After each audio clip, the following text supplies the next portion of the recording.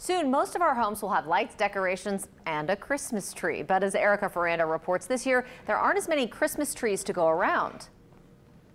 Can I get one of these? Picking out the perfect Christmas tree is an annual tradition for this family. The question is, would it fit presents? We get a real tree every year. And while there are piles and piles of trees at AV Tree Farms, Owner Andrew Vultaggio says nationally there aren't as many to go around as it appears. There is a tree shortage. There's, actually a huge tree shortage. Vultaggio grows his Christmas trees in Michigan. These are the freshest you'll ever find. And every year he brings them down to sell at his three tree lots in the New Orleans area. I planted this tree about 10 years ago. But during the recession about a decade ago, he and other tree farmers stopped planting as many. We stopped planting trees because we didn't know what was going to happen with the economy. Well, it's caught up to us. It takes about 10 years years for a tree to grow. This tree here is about 12 years old. So now there aren't as many. We're talking millions of trees that were not planted over a span of, of, of, of, five years. This means you might see higher prices. Over the past three years, they've, they've gone up between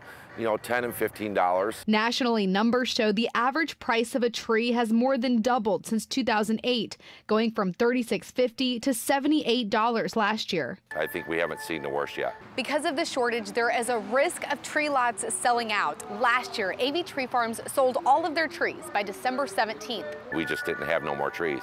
And this year, I think it's going to be worse. Luckily for families like this who tree shop early.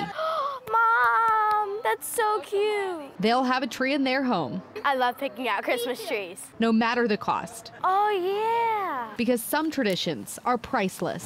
In New Orleans, Erica Ferrando, Eyewitness News.